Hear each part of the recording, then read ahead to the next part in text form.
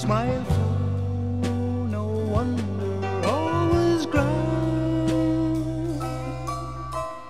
caught by a lonely spell driven